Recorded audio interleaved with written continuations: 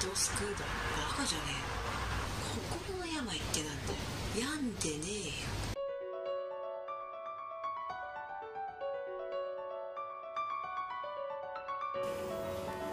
えー、お騒がせしております。水玉研究所でございます。えーと最近事件があったの。ほら人間社会出るじゃん。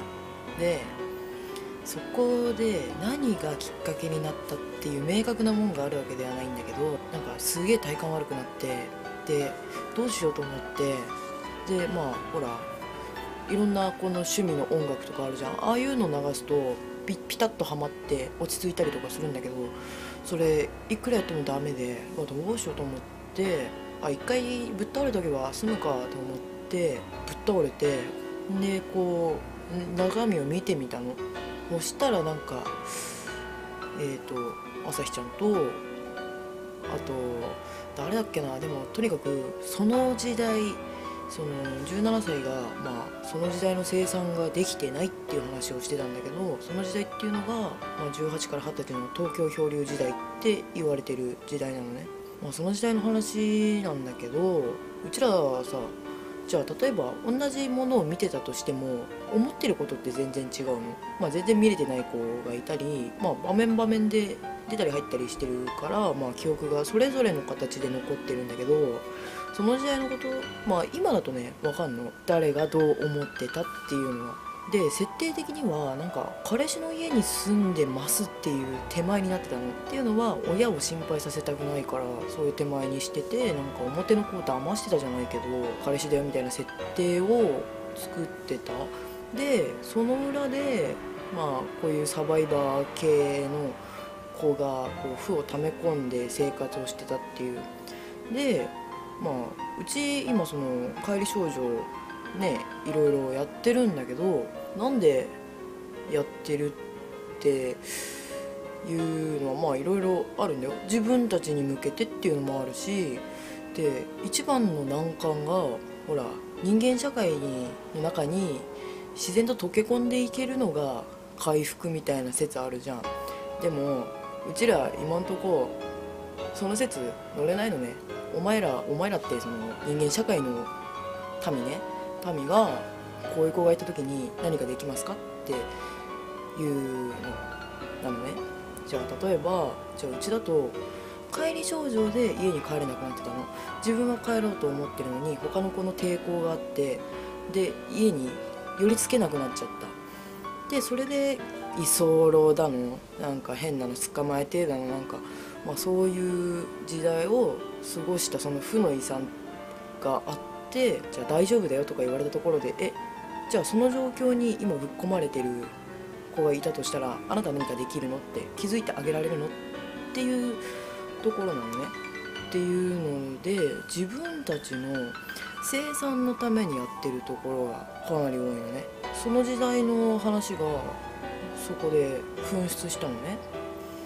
でその時のが一応ちょっと記録取っといたの。そのツイッターに書いたんだけど「朝日ちゃん人間社会とか言って囲いたいなら病気全部カバーしてからやるべき平等にならないくせに対策してますが汚ねえ。うちらは何にも悪いことしてなくない？人間社会はそういうところ覚えとけ。今でも同じ。病気で働けなくて借金抱えて何も悪くなくたって自己責任なわけで悪趣味極まりない。生まれたかねえよ誰だってこれが椿ちゃんだっていう証言があったの。でこのちょっと前にも椿ちゃんの稼働を確認しましたっていう LINE をカカロットにしてるのを確認したの。ブッダがしてたんだけど確かにそうだと思うんだよ。今って生産の時期なのね。水玉っていうか、まあ、この期待ミノーラって。まあやっぱり厳しい局面になるとそういうのがこうフラッシュバックじゃないけど思い返されてでこういう子たちが出てくることになるんだよね。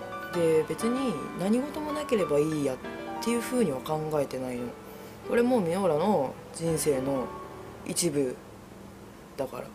最初の記憶18私男が大嫌いだ。イライラすると笑うようにできてんだ。よどいつもこいつもバーカって思いながらそうしてたのは私だよ。さっき記憶がバーってきて今ちょっともうあんまり思い出せないんだけどこれは議事堂向けだから箇条書きで言うけど池袋 P ダッシュパルコ青パーカー渋谷センター街の洋画が流れてるバーと品川の家品川の家まず最悪こいつは早く死なねえかなって思ってた。頭悪ってなる。確かにもしかしたらやっぱり自分が何をしてるのか分かってなかったかもしれない。その中で本当のことそんなものどこにもないよ。見つけてもらえない感じ。それは多重人格だからだ。最終兵器言ってた。好きとか可愛いとかそんなの表面でしかないんだよ。死ねって思う。もう分かることだけ話す。18で家帰れなくなって。それだってさ足がすくむのね。別に帰ってもいいとは自分では思ってるの。でも足がすくむの。それで家族のことがすごい遠い人記憶の彼方にいる人みたいなそういうのがいるのは知ってるよ。全然関係ない人って感じしてただ帰ろうとするとそういう拒否反応が出る。だからあれは私が好き好んでしたわけではない。っていうことになる。それはわかる。確かに生きる術だったと言われると今から言われるとそうなん私はその時何も分からないでやってた。ただイライラしてただこいつら頭おかしいなって思ってめでてえなって。ただうまくいってほくそ笑んでる部分もあり何がしたかったんだろうな。私は今のところ箕浦が私だとは思えない。それは私は戦闘要員だから。症状で家に帰れなくなるなんて誰も思わないだろう。今考えたってさ無理だよ。どうやったらお前らになんかできたんだよ分かったよな普通聞いてんじゃねえぞマジで辛かったねとかさバカじゃねえよほんとその時お前がいたらなんかしたかよ。甘いんだよいちいち考えてること。愛は人を救うだバカじゃねえ。の病ってなんだよ病んでねえよ。記憶にあるよ。前みんなが言ってたあの椿ちゃんの仕業だってやつ全部そう。ただ椿ちゃんって名前。吉原っぽい名前にしてくれたでしょ。そういう人たちにもどう思いがあるって。それ私のことじゃん。僕弁財天にお参りしてくれてた。ただ悔しかった。でも別に期待してるわけじゃないぱこいつらそうだよなってやっぱり私も思ってたわ。なんとなく思ってた。それで私は自分を守ってた。自分というより私の後ろにあるもの。こいつらには渡さない。今俺超優しいじゃん。普通そんなやつ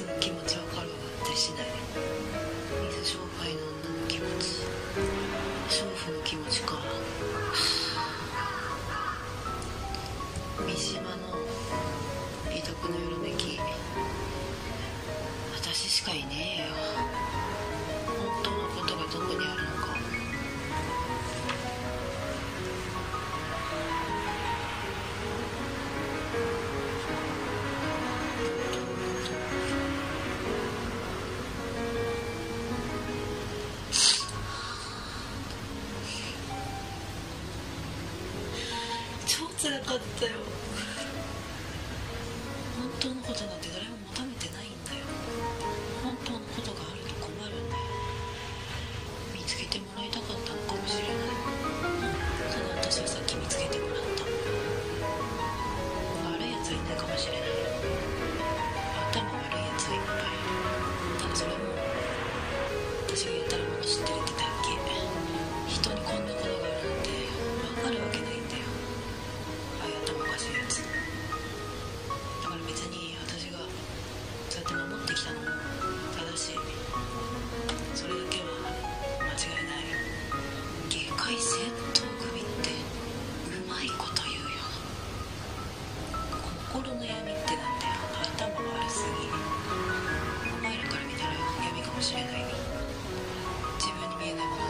って片付ける闇なんかじゃないそういうこと言ってる場合何もなるわけねえだろ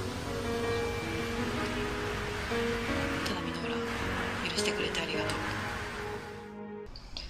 その椿ちゃんが発見された時の話なんだけどあの頃って、まあ、去年の多分11月か12月かわかんないんだけど、その頃って、まだどういうミノ浦ラがいるっていう話をその動画でしてたんだよ。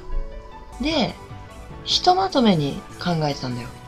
でその時についたのが椿ちゃんって名前なの。でその椿ちゃんっていう名前はトロちゃんがつけてんだよ。だったんで多分パッパラパーのようには見えてなかったんだと思うの。うちらからしたらパッパラパーなんだけど。であいつは出したくねえと。あんな何木登りとかしてたり何路上で酒ラッパしてたりボトルで。ああいうのは出したくないって話になっててその時に椿ちゃんに会ってみたいと。でも別にいやそいつごときにね出たところで何もないだろう。っていうことになってまあいいやつって解放された。でとりあえずひとまずで解放されたのがあれあられちゃんなんだ。あられちゃんなんだよ。その後に出てるのが葵ちゃんか。なんかギャーギャー喋ってんの。はじめましてイエーじゃないけど。で途中で椿ちゃんに切り替わるんだよ。そこで葵ちゃんが全く気づいてないの。で椿ちゃんがその男友達にまあやってること中途半端で嫌いなんだよみたいな。なんかそれだけ言い言いたくてみたいなことを言って。で言い終わって気がつくと葵ちゃんに戻ってんのね。葵ちゃんが喋ってる時にそいつが「お前男嫌いだろ」って言ったの。その時に「なんでわかるの?」って言って泣き出したの。機体が。あれがいちごちゃんだ。じゃあもうこの時点でいろいろ発見されてんだけど椿ちゃんがそこで割とね記憶が戻るの。男嫌いだろって言われて。なんで嫌いかっていうエピソードが戻るのね。それがあの椿ちゃんの「美徳のよろめき」っていう動画の内容にある18で帰る家がなかった時にそういうのでやっていくしかなかった時代エピソードっていうやつなんだよね。でそれであ記憶が戻ってるっていうのが私は分かったの。であこのままちょっと単維持してそれで動画撮ろうと思ってそこでああやってなんか服どうするみたいなのとかもやってで撮ってんだよ。昨日見たよ。2年前のメンヘラで死にかけた時その時の雑記でなんでこんなところにいるのかわからないってなんでもクソもねえんだよ。だからうちは話が特殊すぎる。普通の人が納得いく説明なんかできるわけないだろ。どこに対しても歩み寄るしか方法がない。だから対等だと思ってるやつ大っ嫌い。何もかんも嘘ばっかじゃねえかよ。形取り繕うのにいっぱいいっぱいで。その形すらろくにできない。嘘つくんだったらわかんねえようにやるよが筋だよ。人のこと舐めてんだよ。自分の思ったことが全てだと思い込んで。ああしてやったこうしてやったって恩着せがましいんだよ。だから私は絶対に相手が納得することしかしない。してやった面してるやつ大っ嫌いだ。そういうぬるいことで収まってる警戒が大っ嫌い。私もそういうぬるいところで収まってるべきだったんだよ。ただそういうわけにいかなかった。だからああいう奴らは標的ではない。だから私は一人で復讐する。自分の幸せを一番知ってるのは自分だ。だから絶対に自分を幸せにする。ただし人に危害を加えない。恩ができると頭くる。こういうのを見せるべきではないと思うんだよ。そんなことしたら元も子もない。というかろくな奴がいなかったってことなんだよ。それもわかる。ただ許せない。こういうつもりとかにかまけて結果を見ようとしない。そういう奴は許せない。許容範囲ならいい。ただ結果がこれだぞ。別に誰が舐めたことしたとかそういうことではない。ただ私は絶対にそういうことはしない。こんなことどうやって片付けたらいいのか正直わかんない。よ大人なんか大嫌いだよ。大人ずらしてるやつが一番嫌い。体裁守ってるやつも嫌い。結局何もできないやつ全員嫌い。でまあ椿ちゃんは、まあ、声は聞こえるけどでも今んとこ私ははっきり「あこれ椿ちゃんだ」っていうふうには分かんないよね。っていうか椿ちゃんが存在してるぞっていうのを、まあ、分かっておくためっていうのがすごく強いよね。っていうかあの椿ちゃんの言い分ってごもっともだと思うの今のところはね。で、まあ、椿ちゃんが発見されたのが、えー、1月9日去年。去年発見されてで表に出てきたのはこの1回と次に次の月だね。次の月に何かの会議かなんかで偶然撮影されたその1回合計2回のみ。でも稼働はある。たまにね。だからこういう系のキャラってたまになんかこう昔のことが思い返された時だけの稼働なんだけどそういう子ほどその貯めてるものがある。普段から出ない子ほど貯めてるものがあるからやっぱりこういうのを見とかないといけないなって。で自分たちもやっぱちょっと平和ボケするところとかあるしうん覚えとかなきゃいけないこと自分たちが知らなきゃいけないこと。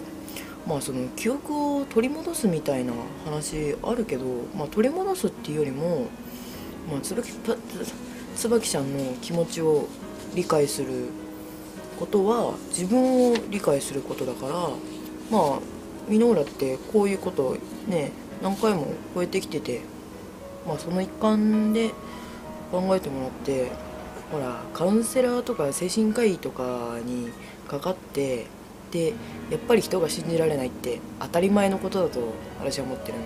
松椿ちゃんも言ってたけどなんだろう。